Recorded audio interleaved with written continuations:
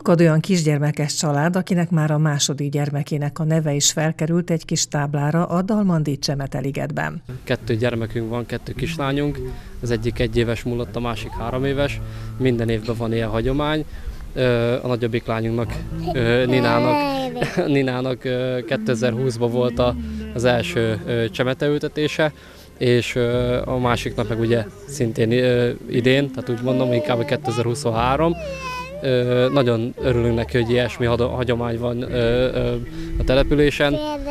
Mi örömmel, boldogsággal jövünk ide. A Tolna vármegyei Dalmandon 2019 óta létezik egy szép hagyomány. Fát ültetnek a településen megszületett babáknak egy kis tábla kíséretében. Ezen a nevük születési dátumuk szerepel. A Csemete ligetet az önkormányzat hozta létre, hasonló módon, mint más településeken. Dalmandon nagyon sok fiatal család költözött, a sok halálozás után minden ingatlanunk elkelt, és így évről évre nőtt a születendő babák száma.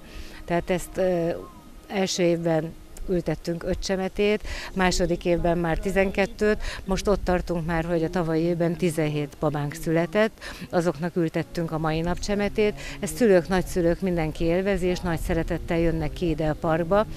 Most már ahhoz kellett folyamodnunk, hogy megosztjuk a táblát, és egy táblára több név kerül, mivel tovább szeretnénk folytatni ezt a hagyományunkat, hogy ezt elkezdtük négy évvel ezelőtt, és azt szeretnénk, hogy, hogy minden babának itt legyen a neve, aki ezután fog születni. A faültetés és a tábla kihelyezések után vidám hangulattal, közös beszélgetésekkel, játék lehetőséggel telt az idő Dalmondon.